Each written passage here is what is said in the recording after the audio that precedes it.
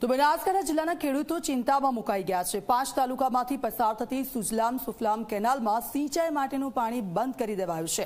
પાણીના અભાવે ખેતરમાં તૈયાર થયેલો પાક સુકાઈ જવાની સ્થિતિમાં છે. ખેડૂતો પાણી છોડવાની માંગ કરી રહ્યા છે. પાણીના અભાવે ખેડૂતોની મુશ્કેલીઓ પણ વધી ગઈ છે. ખેડૂતોનું કહેવું છે કે સુજલામ સુફલામ કેનાલનું પાણી ચાલુ રહે તો ભૂગર્ભ જળની સમસ્યાનો અંત આવી શકે છે. ભૂગર્ભ જળના તળ ઊંડે જતા ખેડૂતો કેનાલમાં પાણી આધારિત ખેતી કરવા માટે મજબૂર બન્યા છે. પરંતુ દિયોદર, લાખણી, થરાદ, કાંકરેજ અને થરાદ પંથકમાં પાણી બંધ કરાતા ખેડૂતોને રડવાનો વારો આવ્યો છે.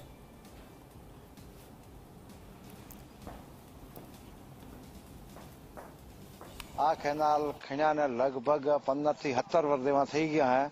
હજુ સુધી અમે પંદરથી સત્તર વખત આ કેનાલમાં પાણી દેખ્યું હોય એમાં અઠવાડિયા ઉપર તો પણ કોઈ દિવસ રહેતો પણ નથી.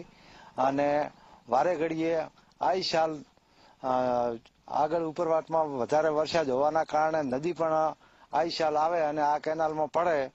અને અમારા પણ ખેતર પણ ધોવાણ થાય. નથી, સાયફનનું કામ ચાલુ કરતા કે નથી કેનાલમાં પાણી છોડતા. એક પણ આમાં બે માંથી એક પણ કામ કરતા નથી. પાણી એક પણ દિવસે આવતું નથી. અને ખેડૂતોને પૂરેપૂરો આ મરો હે.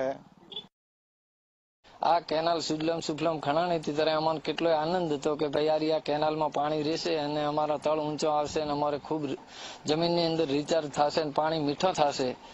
અને હાલની તારીખમાં એવું હોય કે અમારો તળ ઊંડો ગયો, પણ અમે આ કેનાલના હિસાબથી વાવેતર કર્યું હોય. અને બે બે પાણી હજી પિયતના બાકી છે.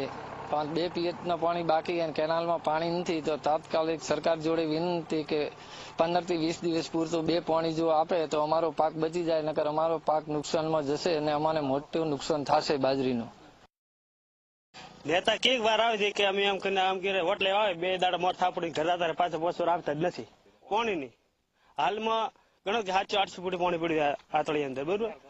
અને પછી જો ના આવે, તો અમારે શું કરવાનું? હાલમાં જો બારી બળાઈ રહીએ. પાણી છે ને, શું કરવાના? બે દાડા આવે પછી જતા રહીએ. પાંચ વર્ષ નથી આવતા. વાળતા નથી. મોર થાપડે કે અમે આવશું તેમ કરીને ઢાકડો એક આપવાના નથી.